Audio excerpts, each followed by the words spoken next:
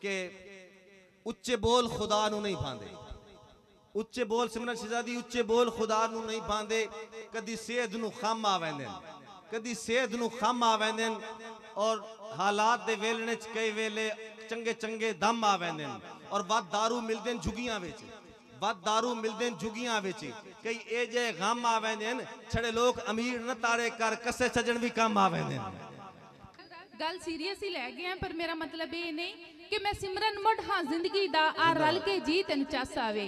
ਮੈਂ ਸਿਮਰਨ ਮੁੱਢ ਹਾਂ ਜ਼ਿੰਦਗੀ ਦਾ ਆ ਰਲ ਕੇ ਜੀ ਤੈਨੂੰ ਚੱਸ ਆਵੇ। ਉਹ ਕਿਵੇਂ ਪਿਆਰ ਵਿੱਚ ਕਮਲੇ ਲੋਕ ਹੁੰਦੇ ਨੇ ਮੇਰੇ ਵਾਂਗੂ ਥੀ ਤੈਨੂੰ ਚੱਸ ਆਵੇ।